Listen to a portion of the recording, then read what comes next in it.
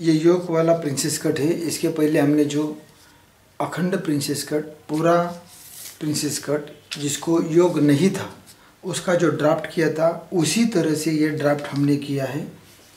इसमें देखो, दो इंच बढ़ाया है, एक के बाहर दो इंच बढ़ाया है, ये बारह नंबर है। और ये बारह नंबर की जो लाइन है, ये पॉइंट है हमने आगे के गले को जोड़ा है। बस इतना ही किया है, दस से ए शून्य से ए, ये टक्स लाइन खींच लिए है। टक्स पॉइंट अधिक पाव इंच लिया है इसमें। उसी तरह से छः से पंद्रह, ये जो आगे का बगल घेरा है, वो भी हमने इसी तरह से जोड़ लिया है। और आगे का गला दस से सोलह, ये सात इंच लिया है। ये सात इंच लिया है, देखो। और ढाई इंच चौड़ाई लेकर ये जोड़ा है। ढाई इंच चौड़ाई लेकर ये गला जोड़ा है। और जो हमने दो इंच ज़्यादा लिया था, ये बारह नंबर की जो लाइन खींची है वो आगे के गले को जोड़ दिए बस अभी इसके आगे हमें देखना है। बारह से तेरह, बारह से तेरह हमको पौने दो इंच लेना है। इसको योग पट्टी है, योग यानी नीचे हम पट्टी जोड़ने वाले हैं। तो बारह से तेरह, पौने दो इंच लिया है। उसी तरह से चार से चौदह, ये पौने दो इंच लिया है। चार से चौदह, पौने दो इंच लिया है। और ए से सी छाती का दसवां भाग और पाव इंच लिया है। ए से सी छाती का दसवां भाग और पाव इंच लिया है। ए सी का पॉइंट है, वो कमर रेशा को सीधा जोड़ा है। सीधी तरह से जोड़ा है। और जो हमने पौने दो इंच, पौने दो इंच दोनों बाजू को जो पॉइंट लिए थे, वो पॉइंट कमर रेशा में जो लाइन गई है सी की, उसी को जोड़ना। जैसे वीडियो में दिखाया है, उसी तरह से हमको जोड़ना है। पौने दो इंच ऊपर, पौने दो इंच ऊपर। फिर हमें टक्स की चौड़ाई लेनी है। तीस, अट्ठाईस, तीस, बत्तीस छाती के लिए हमको सवा इंच की टक्स की चौड़ाई लेनी है। उसके अधिक छाती है तो हमको डेढ़ इंच चौड़ाई लेनी है। देखो, जैसे आपको दिखाया है, उसी तरह से डेढ़ इंच इस तरफ़ और डेढ़ इंच उस तरफ़। हमने टक्स की लाइन खींची है, सी लाइन को, सी पॉइंट को जोड़ा है। अब जो ये सी जो पॉइंट है, वो बगल के घेरे में, जहाँ पर अच्छा दिखे, वही जोड़ना है।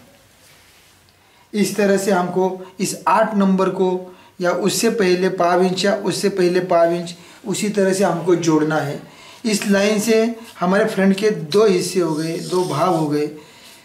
गले, जहाँ पर आगे का गला है, उस भाग को हम एक नंबर दिया है और जहाँ पर बगल का घेरा है, उसके नीचे हमने साइड वाले हिस्से को दो नंबर दिया है। इसी तरह से हमने ये फ्रंट का ड्राफ्टिंग किया है।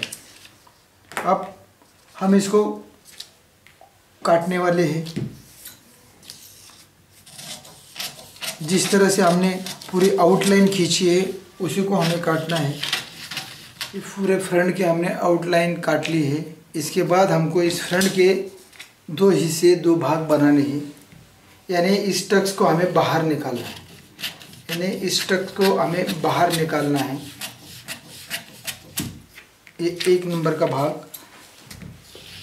पूरा टक्स हमें काट कर बाहर फेंकना है।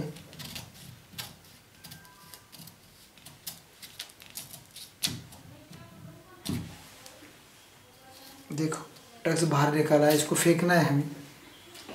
इस तरह से हमने प्रिंसेस कट वाला जिसको योग है, वो फ्रंट काटा है।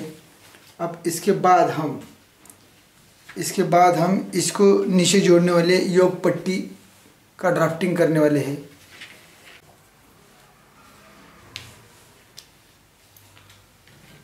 अभी हमको योग की ड्राफ्टिंग देखनी है। पहले हम लाइन खींचेंगे। सभी के लिए, सभी माप के लिए, सभी छाती घेरा के लिए इसकी जो लंबाई है, ये साढ़े चार इंच लेनी है। जो की लंबाई है, वो साढ़े चार इंच लेनी है। लाइन को पूरा करना है। फिर योग की जो चौड़ाई है, वो कमर का चौथा हिस्सा। योग की जो चौड़ाई है, वो कमर का चौथा हिस्सा और दो इंच ज़्यादा लेना है। कमर का चौथा हिस्सा सात आता है। सात और दो नौ, इस तरह से अट्ठाईस छाती, अट्ठाईस कमर के लिए हमको ये योग हमने निकाला है। यहाँ पर ज़ीरो वन ये दो और तीन। इस तरह से हमने ये योग का ड्राफ्ट किया है, इसको हमें काटना है। इस तरह से हमने ये योग निकाला है। ये योग हमारा ऐसा फोल्ड पे बैठने वाला है।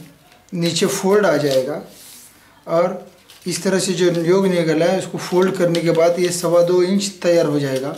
और ऐसे ही हम फ्रंट को सिलाई से जोड़ने वाले हैं। इस तरह जब हम फ्रंट जोड़ते हैं, उसको ये योग इसी तरह से हमको लगाना है। इस तरह से सिलाई से हमको जोड़कर इसको पलटना है। इस तरह से जोड़ने के बाद हमारा ये योग वाला प्रिंसेस कट पूरा हो जाता है। कपड़े का फोल्ड लेना है, यहाँ पर फोल्ड लिया है, देखो। यहाँ पर कपड़ा फोल्ड करके रखा है। बैक हमें, बैक हमने रखा है इस तरफ़। बैक का जो गले का हिस्सा है, वो फोल्ड पे आना है, फोल्ड पे लेना है। बैक जैसा हमने कपड़े पर रखा है, उसी तरह से उसको पूरा पेपर के बराबर, कागज़ के बराबर काट कर लेना है, गला भी काट कर लेना है। फ्रंट हमने यहाँ पर जो रखा है, जो लाइन हमें पाव इंच बढ़ानी है। सिलाई के लिए हमको सिर्फ़ यहाँ पर पाव इंच बढ़ाना है। और जो फ्रंट के दो हिस्से काटने हैं लेफ़्ट और राइट वाला, एक नंबर के दो हिस्से कटेंगे, उसी तरह से दो नंबर के भी दो हिस्से कटेंगे। और सिलाई के लिए हमें ये फ्रंट एक नंबर वाला फ्रंट सिर्फ़ पाव इंच आगे बढ़ाना है। उसी तरह से दो नंबर वाला हिस्सा भी जैसे हमने कागज़ कपड़े के ऊपर रखा है, उसके दो हिस्से काटना है, लेफ़्ट और राइट वाला। और जहाँ पर हमने कटिंग किया था, वहाँ पर सिलाई के लिए सिर्फ़ हमको पाव इंच बढ़ाकर काटना है। देखो, यहाँ पर पाव इंच बढ़ाकर काटना है। बाकी सब पेपर के बराबर काटना है। पेपर से बिल्कुल कागज़ से ज़्यादा कुछ भी बढ़ा के नहीं काटना है। जो बढ़ा हुआ हिस्सा है, वो आपको बताया गया है। इसी तरह से कपड़े पर प्रिंसेस कर काट कर लेना है। अब अगर हमें पीछे हुक लेने हैं, बैक को हुक लेने हैं तो हमें फ्रंट का जो हिस्सा है, बीच वाला, एक नंबर वाला, वो फोल्ड पे रखना है। इस तरह से फोल्ड पर रखना है और गले का जो आगे के गले का जो नीचे का हिस्सा है, उसे फोल्ड पर रखकर जैसे बताया गया है, उसी तरह से काटना है। ये योग वाला प्रिंसेस कट है। हमने इसका कटिंग और ड्राफ्टिंग देखा है। अभी इसको कपड़े पर कैसे रखते हैं, वो बता रहे हैं और कैसे काटना है, वो भी बताएँगे। बैक हमें, बैक का जो गला है, वो गले का हिस्सा हमें कपड़े के फोल्ड पे रखना है ऑन फोल्ड पे रखना है। इसके बाद हमें, जैसा हमने कागज़ काट लिया था, उसी तरह से बैक काटना है। उसको कहीं भी नहीं बढ़ाना है। सिर्फ़ हमने जो फ्रंट काटा था, एक नंबर और दो नंबर का हिस्सा, उसको सिर्फ़ जहाँ पर हमने यहाँ शेप दिया था प्रिंसेस कट का, उससे बाहर पाव इंच बढ़ाकर काटना है। उसके बाहर पाव इंच बढ़ा के पाटना, काटना है। और दूसरा नंबर हिस्से को भी, जो दूसरा नंबर का प्रिंसेस कट का हिस्सा है, उसको भी जहाँ पर हमने काटा था फ्रंट के दो हिस्से बनाए थे। उस हिस्से के बाहर सिर्फ़ पाव इंच बढ़ा के सिलाई मार्जिन हमें काटना है। इसको काटने के बाद हमें ये जो योग पट्टी है, इसके दो हिस्से काटने हैं। इसके दो हिस्से काटने हैं। देखो यहाँ पर ये दो हिस्से हैं। इस, इसको भी कहीं भी नहीं बढ़ाना है। इसको दो हिस्सों में काट लेना है।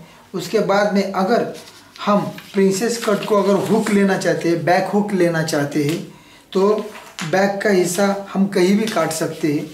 बैक का इसका हम कहीं भी काट सकते हैं।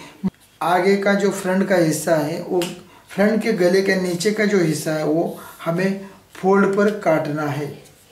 कोई भी ब्लाउज हो, उसके लिए जो स्लीव्स काटते हैं, वो स्लीव्स काटने के बाद फ्रंट का जो बगल का घेरा है, उसको गिनना है। शोल्डर की तरफ़ सिलाई मार्जिन को छोड़ना है। और छाती घेरे के बाहर की सिलाई मार्जिन को छोड़कर जो बगल का घेरा है, उसको गिनना है और वो घेरा हमको स्लीव्स पर काटना है, जैसे कि हमारा स्लीव बिठाने में हमको आसान जाए। अगर आपको यह वीडियो पसंद आया है तो इसको लाइक करें और हमारे चैनल को सब्सक्राइब करें।